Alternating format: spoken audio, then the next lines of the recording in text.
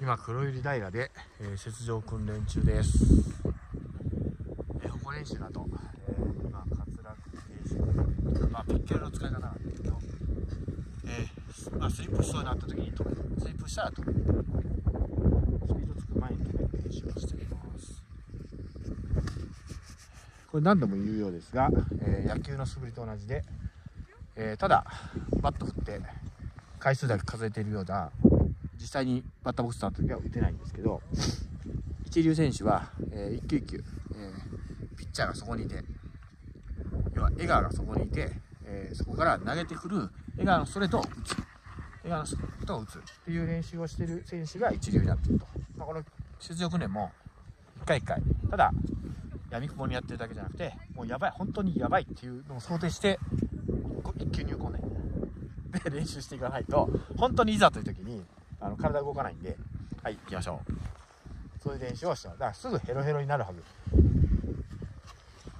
もうヘロヘロになったらやります。はい。まあ訓練ですからね。すぐヘロヘロになるぐらいに一つずつはいガツンと止める。はい。ガッ止める止めろそうそうそう。はい。もう周りも本気になるぐらい。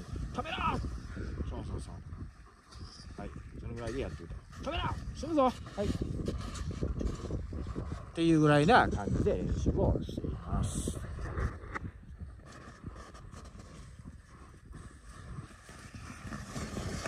止めろはい。止めろやーって止めなきゃ。はい。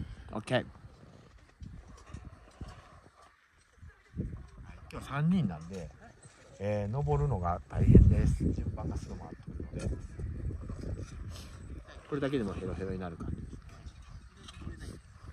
ということで今雪上訓練中です。天気はですね最高です。こんな感じで。